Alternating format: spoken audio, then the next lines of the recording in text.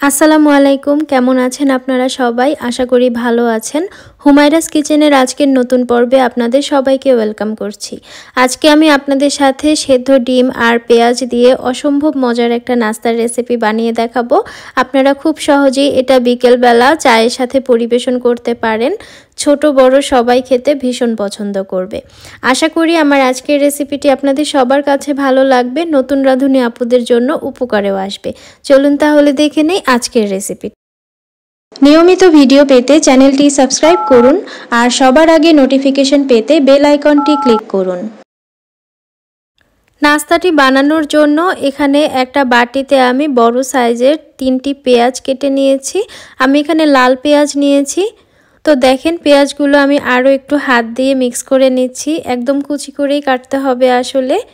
আপনারা এখানে আপনাদের প্রয়োজন মতো পেঁয়াজ নিতে পারেন, যতটুকু নাস্তা বানাবেন আর কি। তো আমি এখানে তিনটা নিয়েছি। তারপরে এখানে আমি লবণ দিয়ে দিচ্ছি এক চামচ পরিমাণে লবণটা সাবধানে দিতে হবে, খেয়াল রাখতে হবে যেন বেশি না হয়ে যায়। প্রথমে কম করেই দিবেন, পরে লাগলে আবার দেয়া যাবে, একটু টেস্ট করে নেবেন আর কি। তারপরে হাত দিয়ে একটু ভালো করে কষলে নিচ্ছি যেন পেঁয়াজের ভেতর থেকে পানিটা বের হয়ে আসে, এতে করে নাস্তাটা অনেক ক্রিস্পি হবে, ভেতরে নরম থাকবে না। কারণ পেঁয়াজের ভিতরে অনেক পানি থাকে, আর এখানে যেহেতু পেঁয়াজের পরিমাণটা একটু বেশি নিয়েছি, তো একটু ভালো করেই মিক্স করে নিতে হবে। তো দেখেন পেঁয়াজটা নরম হয়ে গেছে, অনেকটা কমেও এসেছে, অনেকটা পানি বের হয়ে গেছে এখন এখানে আমি দুটো কাঁচামরিচ দিয়েছি, তারপর এখানে দিয়ে দিচ্ছি বেসন। বেসন আমি এখানে দুই টেবিল চামচ পরিমাণে নিয়েছি, তারপরে এখানে দিচ্ছি এক টেবিল চামচ পরিমাণে কর্নফ্লাওয়ার।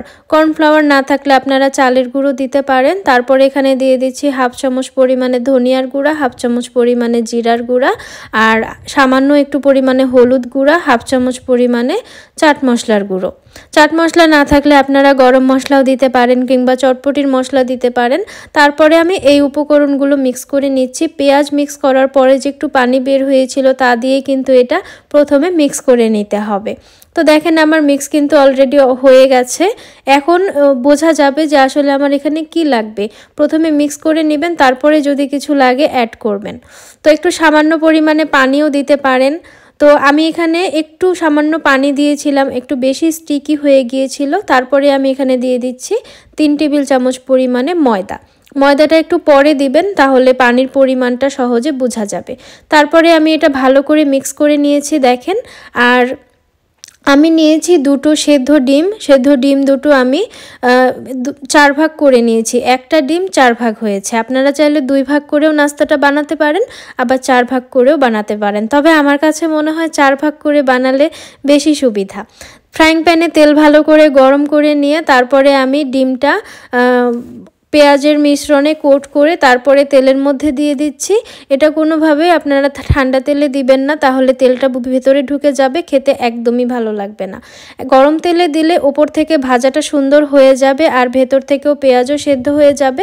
অনেক ক্রিস্পি হবে নাস্তাটা, খেতেও অনেক ভালো লাগবে। তো সবগুলো আমি এভাবে দেওয়ার পরে চুলা রাসটা একটু বাড়ানো ছিল, একটু কমিয়ে দিব। একদম কমানো যাবে না, মিডিয়াম থেকে হাইয়ের মধ্যেই রাখতে হবে।